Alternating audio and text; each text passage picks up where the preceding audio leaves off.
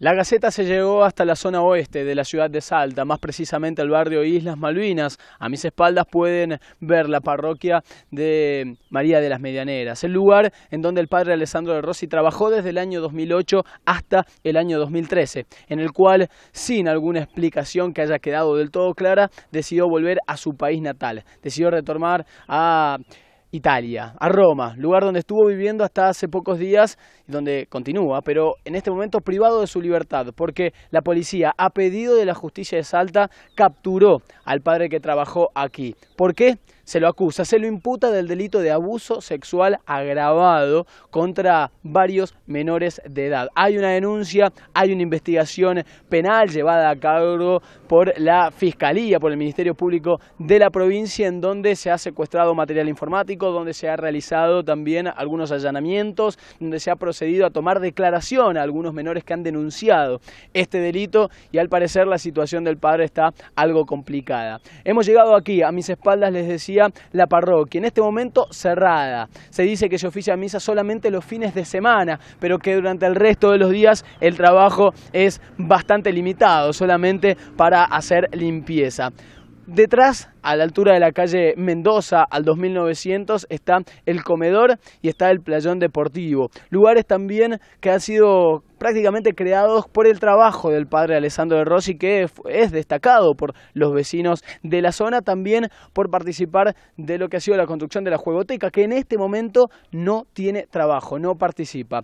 Lo cierto es que las acusaciones, los testimonios que se han dado hasta el momento en el Ministerio Público Fiscal revelan que en el primer piso de esta institución católica se realizaban algunos eh, juegos sexuales, algunas orgías, donde participaban menores y en donde el principal señalado y el principal imputado es el padre Alessandro de Rossi, que dejó Salta en enero de 2013, aparentemente por haber recibido una golpiza producto de un robo, algo que los vecinos no terminan de saber. Se investiga, se busca saber si lo sucedido, si lo denunciado es real o no, por el momento en el barrio, hermetismo total. Estamos con Nora del barrio Islas Malvinas. Ella conoció al padre Alessandro de Rossi. ¿Qué sensación le queda a usted después de haberlo conocido con el trabajo que él hizo aquí? Eh, no, una sensación mal, obviamente mal, eh, pero bueno, como nunca, o sea, se lo veía con los chicos, siempre, constantemente, eh, con varios chicos de todas edades, constantemente, en las mañanas, en las tardes, pero eh, sí, yo cada vez que lo veía no, no me daba una buena, buena sensación. ¿no? Hasta este momento, hasta que se conoció la noticia, ¿había escuchado alguna vez usted algún rumor de estas acusaciones que versan sobre él? Eh, no, no, no, nada. Ninguna sensación, solamente cuando se saltó todo, eh, ahí recién los chicos empezaron a hablar, eh, los amigos de mis hijos, este, le contaron que bueno, que si subían arriba a la iglesia donde tenía el, donde él vivía, sí. supuestamente era su dormitorio donde armaban juegos, jugaban y el padre los tiraba en la cama. Eso le cuentan los eh, amigos de su hijo. ¿Su hijo asistieron con él? Sí, hicieron la comunión ahí. pero no tuvieron problema. No, no, no, no. Pero los amigos le contaron de estas situaciones que pasaban ahí. Exactamente, sí. ¿Y se daba, sabe usted si se daba con cierta frecuencia o si pasó solo una vez? Eh, solo una vez. ¿Ocurrió poco antes que él se vaya o en qué momento, sabe? Después que se fue, después que se fue recién pero antes que él tuvo acá, no, nunca. Nunca los chicos dijeron nada, y nunca se habló nada. Claro. Ahora, el trabajo que hizo el padre, que trabajaba mucho con los chicos, ¿eso sí fue positivo? Eh, la verdad es que yo no sé bien qué es lo que él hacía, ¿me entendés? No, no sé qué es lo que hacía con los chicos. Yo lo que único que vi es que él sí salía a las calles con los chicos. Sí, se lo veía en la iglesia, este, nada más. Pero que lo que hizo por la iglesia, no, la verdad que no sé bien. ¿Son varios los chicos que contaron estas historias? Sí, son varios los chicos. Varios, varios. Sí, chicos de 12, 13 años. ¿Ahora tiene esa edad o en aquel momento? En aquel momento tenía esa edad.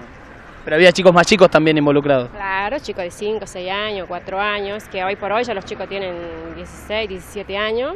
Eh, pero bueno, eh, uno contó eso, que el padre se, le tiró, lo tiró a la cama, él se lo tiró arriba y él se lo sacó de encima.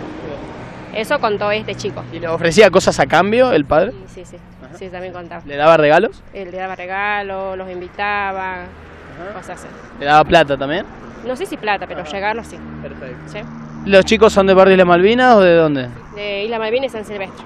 A mis espaldas el comedor, también es uno de los objetivos que tuvo en mira el padre Alessandro Rossi cuando estuvo trabajando aquí en Salta y dicen fue el creador o el personaje fundamental para que esto pueda existir. En su momento, antes que abandone nuestra ciudad, alrededor de 200 chicos asistían aquí para comer. Por lo que dicen los vecinos, luego de su partida, el número de personas que se benefician con el trabajo social que aquí se realiza ha disminuido considerablemente. Estamos hablando de muchos chicos menos los que asisten aquí cuando ya han pasado dos años desde su partida. En este momento la gente a cargo del comedor está de vacaciones, están realizando algunas obras y nadie puede dar alguna palabra oficial de cómo está trabajando. En este momento no se hace, insisto, por estar de vacaciones. En la iglesia también difícil conseguir algún testimonio porque está cerrada. Los vecinos dicen que solamente los fines de semana trabajan.